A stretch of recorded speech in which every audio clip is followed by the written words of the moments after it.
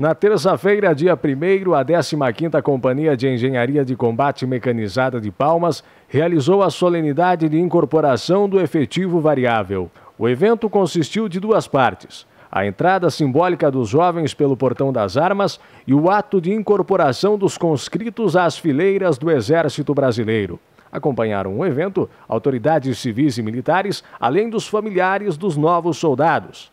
A companhia incorporou neste ano 126 soldados, 101 de Palmas e 25 de Clevelândia, que deverão atuar junto às Forças Armadas pelo período mínimo de um ano, conforme determina a legislação. Aos que desejarem integrar o efetivo profissional da corporação, poderão permanecer por mais sete anos. O comandante do Exército em Palmas, Major Lanzelotti, deu as boas-vindas aos novos soldados e explicou a sistemática de trabalho da corporação. Na oportunidade, foi realizada também a cerimônia de início do estágio básico de sargento temporário, com a incorporação da estagiária convocada Luana Kreiner Gomes, que vai realizar o estágio na área de enfermagem junto à companhia até fevereiro de 2017.